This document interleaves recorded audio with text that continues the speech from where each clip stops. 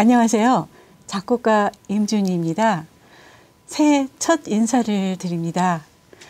아, 올해도 어, 김없이 새로운 태양은 떠오르고 아, 우리들에게 그 새로운 날들을 충만하게 채워나갈 수 있도록 어, 빛을 비추어 주는 것 같습니다. 아, 그래서 그러한 의미로 오늘은 제가 아, 저의 교양시 용비어 청가를 여러분에게 들려드리도록 하겠습니다. 아, 이를 통해서 용이 승천하는 듯한 그런 아, 충만한 도약의 에너지를 받고 새로운 어, 힘찬 출발을 하시기 바랍니다. 용비어천가 이름도 굉장히 멋지지요. 네, 용이 하늘로 승천하는 그런 노래. 어, 우리가 학창 시절에 어, 이 용비어천가 공부를 많이 했던 것 같은데요. 맞습니다. 세종대왕이 아, 그 조선의 건국을 기리면서 그리고 또 어, 조선의 번영을 위해서 어, 그 썼던 그런 그 125수의 서사시입니다. 그래서 저는 아, 그 용비어천가 이 시와 그다음에 그 용비어천가를 바탕으로 만든 세종대왕이 만드신 음악이 여민락이거든요. 그래서 그 여민락의 모티브를 바탕으로 해서 용비어천가를 썼고요. 이 작품은 아 2015년 1월 16일 그러니까 어, 한 이맘때 6년 전 이맘때에 KBS 교향악단 신년음악회로 어, 연주됐던 곡입니다. 아, 그이 용비어 청가가 아, 작곡하게 된 그런 배경은 다음과 같습니다. 네, 2014년 그 KBS 교향악단의 새로운 예술 감독으로 부임하게 된 루마니아의 저명한 지휘자 요엘 레비는 아, 그 이제 부임하자마자 첫 공연, 첫 정기 연주회 프로그램을 짜면서 교향악단에게 이렇게 질문했다고 합니다. 음, 한국의 문화가 담긴 그런 음악은 없나요? 이렇게 질문했다고 합니다. 그래서 어, 한국 작곡가들의 악보들을 이제 요엘레비 지휘자에게 어, 여러 작품을 어, 소개를 했고 그 중에서 이제 그 요엘레비 지휘자가 어, 영광스럽게도 어, 저의 교양시 한강을 선택을 하셨다고 합니다.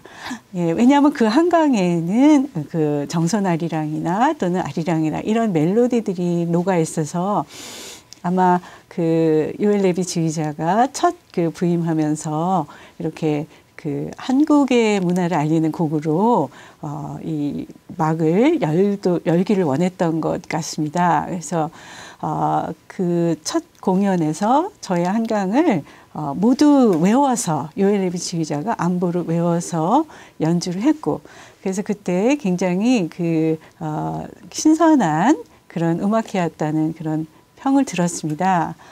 아, 이런 그 작업이 2년이 돼서 2014년 8월경에 그 문화예술위원회에서 그, 그 오작교 프로그램이라는 그런 프로그램을 그, 하, 어, 하게 되었는데 그때 이제 제가 그 KBS 교향악단의 오작교 프로그램의 작곡가로 선정이 되었던 것입니다. 네, 여기서 그 오작교 프로그램이라는 것은 어, 여러분이 알다시피 오작교라는 것은 견우와 직녀가 만날 수 있도록 이렇게 아, 그 까치들이 그 다리를 놔줬다는 뜻이잖아요. 그래서 한국문화예술위원회에서 오케스트라와 작곡가가 서로 이렇게 매칭이 돼서 새로운 창작 작품을 만들도록 했던 그때 처음 시작됐던 그런 프로젝트였던 것입니다.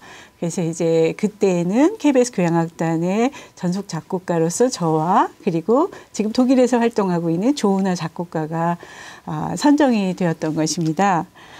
아, 그래서 이제 이 제가 8월에 선정이 되고 나서 음, 이제 레비 지휘자를 만났고, 이제 그 지휘자와 함께 새로운 곡을, 어떤 곡을 위촉을 할까, 아, 이제 서로 어, 대화를 나누다가, 아, 2015년 신년 음악회 때 에, 연주할 새로운 곡을 위촉을 하셨던 것입니다.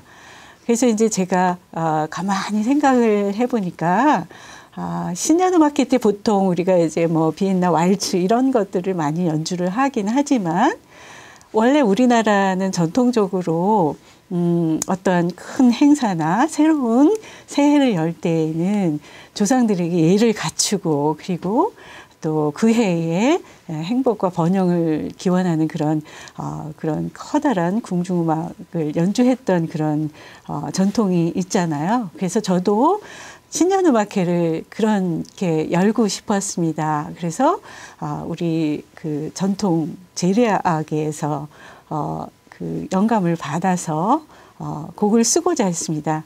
그러면 지금 잠깐 제가 그 우리 궁중 음악 중에 백미인 어, 종묘 재래악을 잠깐만 여러분에게 들려드리도록 하겠습니다.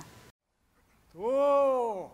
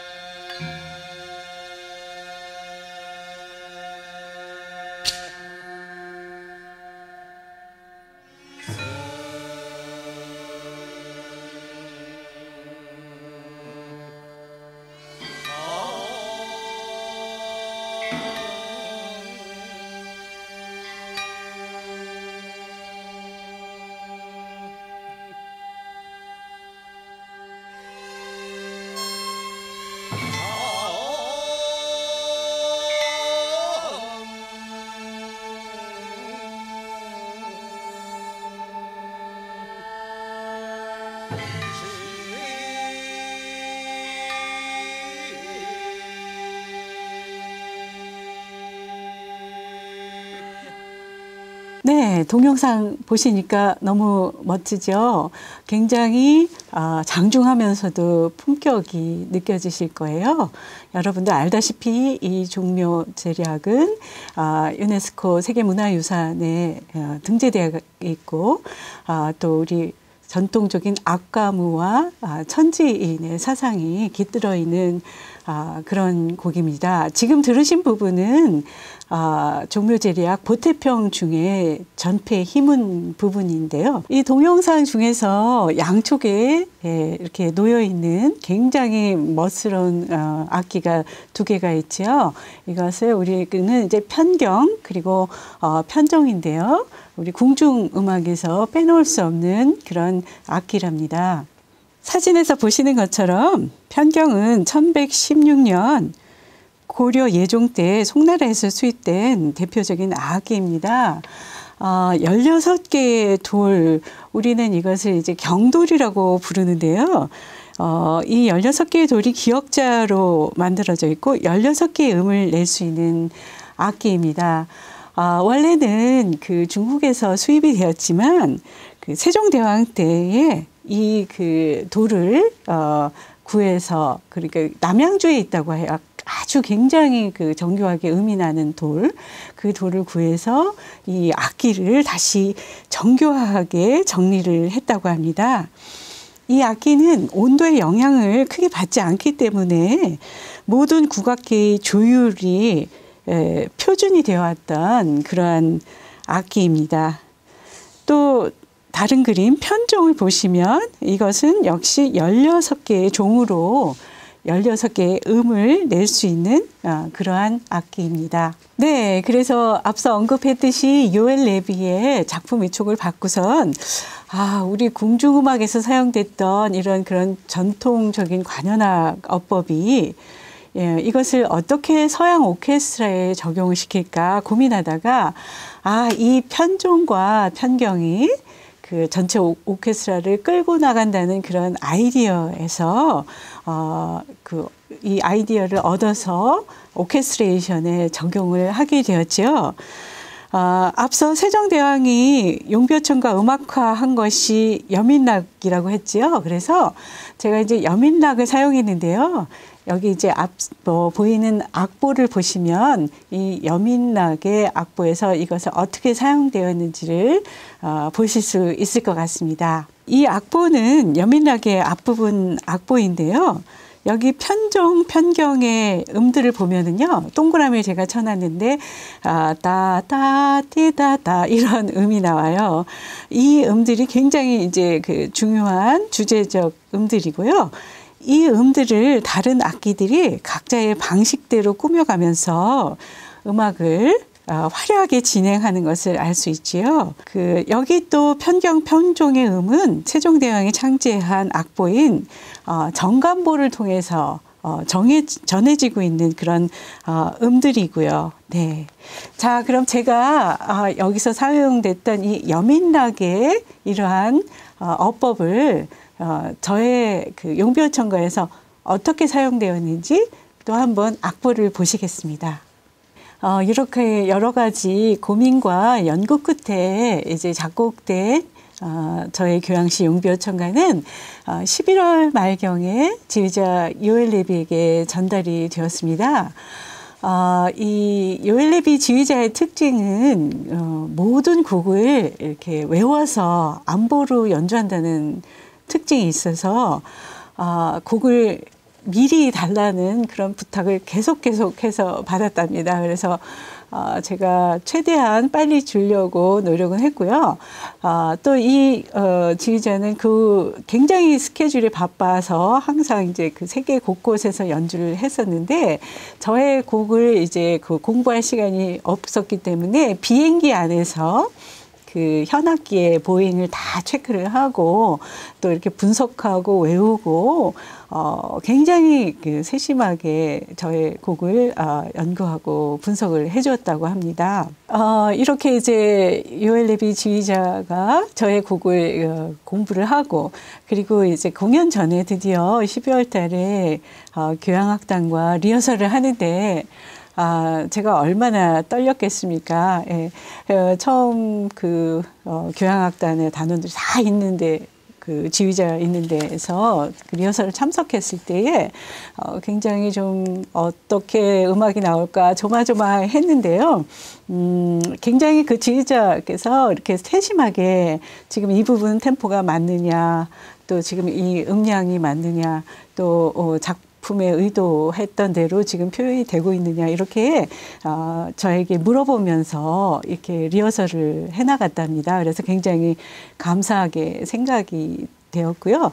어, 또한 가지 기억나는 에피소드는 음, 사실 이제 창작곡이다 보니까 제가 상상으로만 어떤 소리가 나겠지 이렇게 이제 곡을 어, 쓴 것인데요.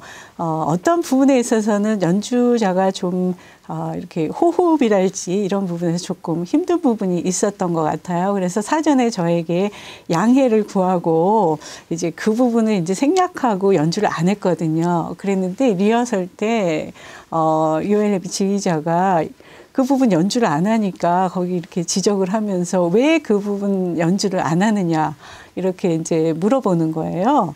그러면서 어, 작곡가가 이 곡을 쓸 때는 굉장히 고민을 많이 했고 또 그 부분에 꼭 있어야 될 음이기 때문에 아, 힘들어도 연습을 해서 음악을 만들어야 되는 거 아니냐 이렇게 얘기를 해줬습니다. 그래서 저도 그 부분에서 참 배우는 점이 많았고요. 음, 그래서 결국 공연 때에는 이 창작곡임에도 불구하고 이 곡을 전부 다 외워서 굉장히 훌륭하게 아, 그 연주를 해 주었고요. 아, 이 동영상은 이제 곧 여러분께 보여드리도록 하겠습니다. 그리고 KBS 교향악단도 단원들이 어, 이 곡에 대해서 굉장히 애착을 가지고 그리고 아주 그 정교하고 탁월하게 연주를 잘 해줘서 저는 너무 어, 감사했답니다. 그리고 또 초연대의 반응은 신년 음악회에 이렇게 우리 곡으로 어, 올린다는 거에 대한 어떤 그런 어, 자부심 같은 것도 느낄 수 있었고 굉장히 신선한 음, 충격이었다 이런 반응을 얻었답니다. 네, 그럼 본격적으로 아, 이 곡에 대해서 설명을 해드리겠습니다.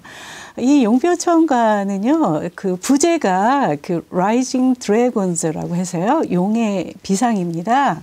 아, 이 용표천가 시가 125 수가 되기 때문에 너무 방대해서 우선 이 교양시에서는 그 제1장 해동의 육룡이 나라샤를 어, 직접 좀 음향을 형상화시킨 부분입니다. 어, 이 용비어천가 여러분이 잘 알고 있는 시는 아마 2장일 거예요. 뿌리 깊은 나무, 바람의 아니멜세 이런 어, 시가 어, 굉장히 그 좋은 시인데요. 이 시는 그 여러분이 갖고 있는 그 만 원짜리 지폐에 세종대왕 얼굴이 있고 그 뒤에 어, 그 시가 있지요. 예, 저는 우선 이 곡에서는 일장 해동의 육룡이 나라샤를 바탕으로 해서 어, 곡을 썼습니다. 이 곡 처음 시작했을 때의 스케치한 작곡 노트는 어, 다음과 같습니다. 동쪽에서 비추어오는 하나의 빛으로부터 하나하나 빛이 모여져 붉은 불의 덩어리가 솟아오르고 온 천지가 밝아진다. 어디선가 어둠을 물리치고 밝음이 스며들며 편경, 편종 소리가 들려온다. 꿈틀거리던 대지의 만물들이 깨어나기 시작한다. 잠자고 있던 동쪽에 여섯 용들이 꿈틀거리면서 날아오르기 시작한다. 용들은 흑룡, 청룡, 이런 용들이 서로 뒤엉키고 이들의 비상을 막는 무리들과의 투쟁이 시작되고 이러한 악의 기운을 물리친 음들이 하늘로 하늘로 비상하며 하늘의 기운을 온 세상에 내뿜는다. 아, 이제 음악을 들어보실 텐데요. 아, 이 곡은 좀 길이도 길고, 아, 각 부분, 부분에 설명이 좀 필요하기 때문에 제가 나누어서 악보와 함께 먼저 설명하고, 그리고 동영상을 보시도록 하겠습니다. 네, 이 부분은 동쪽으로부터 한 줄기의 햇살이 비추고, 빛이 하나하나 스며들어 천지를 밝히는 장면입니다. 아, 처음 시작 부분에 하프와 비브라폰, 글로켄슈필 이런 타악기들이 아, 빛의 덩어리를 밀어내면은요. 드디어 솔로 바이올린이 한 줄기의 빛으로 나타납니다.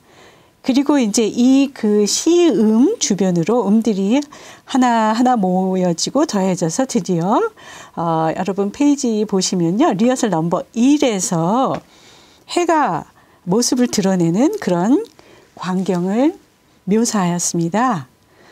이 부분에서는 아까 언급했듯이 편경, 편종이 그런 핵이 되는 주요음을 연주하고 다른 악기들이 화려하게 꾸밈음, 장식음을 넣으면서 거대하고 찬란한 음향 덩어리를 만들어 갑니다. 그럼 이제 이 부분 동영상을 보시겠습니다. 이 동영상은 아까 언급했듯이 2015년 음, 1월 16일 그 KBS 교향악단 신년음악회 어, 요엘 레비의 지휘로 어, 보시도록 하겠습니다.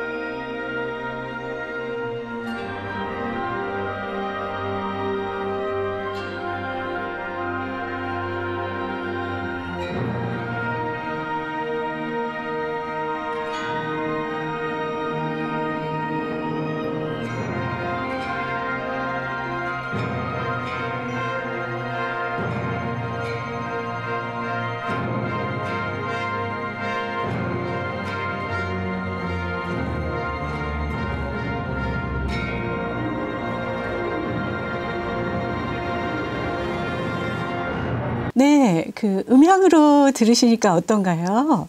그 빛이 하나하나 모여져서 드디어 이제 해가 떠올라서 천지를 환하게 비치는 그런 이미지가 연상이 되셨으면 좋겠습니다. 다음 부분은 이제 그 두 번째 부분 한번 악보를 보시겠습니다. 리허설 어, 넘버 2에서는 튜바, 베이스 트롬본 이런 어, 낮은 저음의 금관 악기들이 아, 용들이 꿈틀거리듯이 이렇게 막 그 꿈틀거리는 것, 낮은 지금 비프렛 음이 아, 이런 것을 묘사하고 거기에 이제 트럼본, 호른 등이 하나하나 음향을 더해가면서 아, 용이 이제 하나씩 하나씩 하늘을 향해 어, 날아가는 것을 묘사합니다.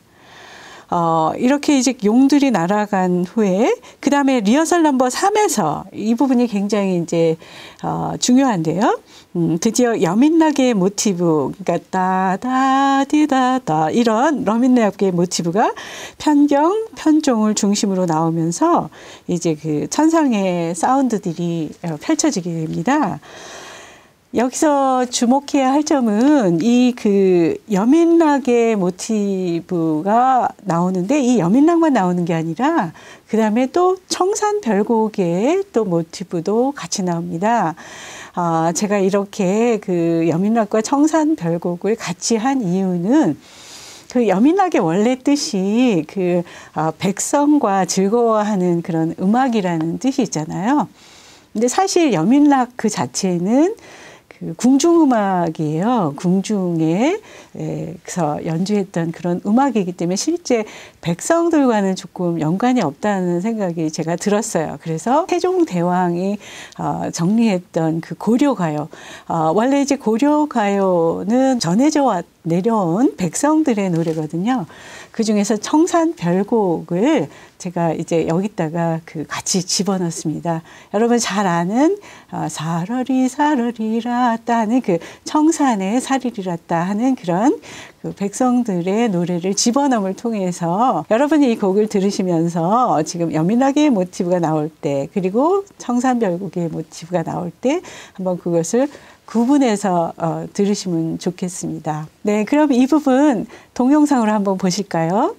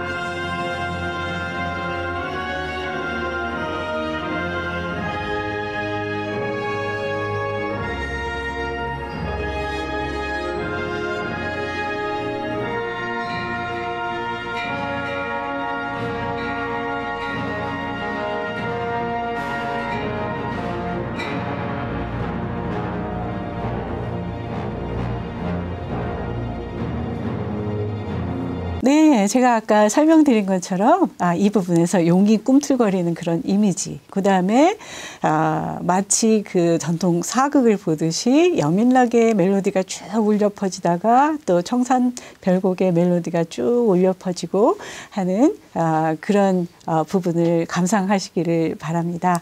예, 그러면 어, 그 다음 부분을 제가 설명을 해드리도록 하겠습니다. 이 부분은 이분의 이박자의 힘차고 빠른 부분으로서요.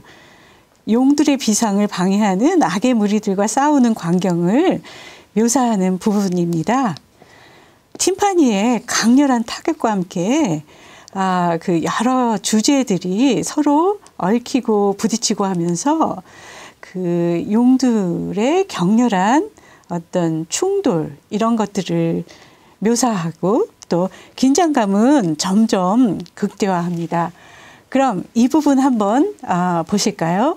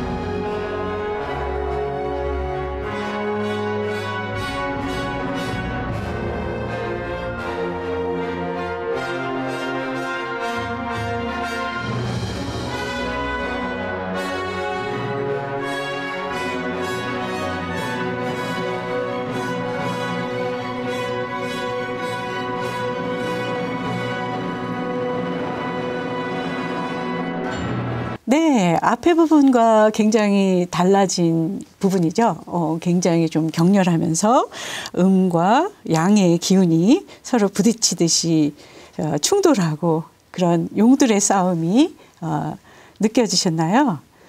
아, 여기에 또 대비적으로 다음 부분은 이러한 격렬한 싸움으로부터 승리해서 천상에 도달한 용들의 어떤 어, 평온하고도 어, 찬란한 이미지를 어, 음향으로 표현한 부분입니다.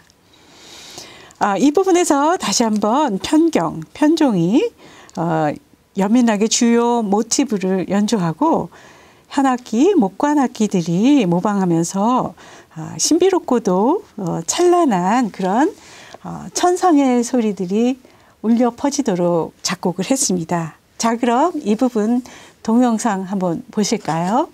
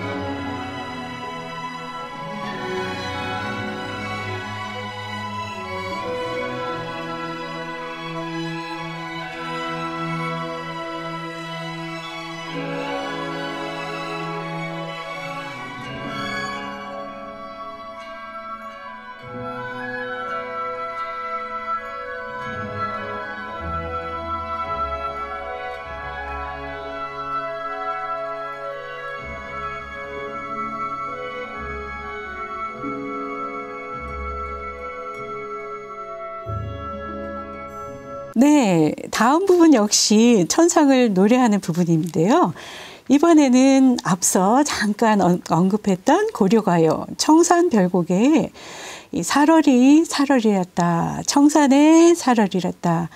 이 멜로디가 나옵니다. 여러분이 그 첼로의 선율과 아, 플룻의 선율을 집중해서 들어보시면 아, 굉장히 좀 평화롭게 펼쳐지는 그러한 아, 청산 별곡의 멜로디를 들으실 수 있습니다. 이 부분 동영상으로 보실까요?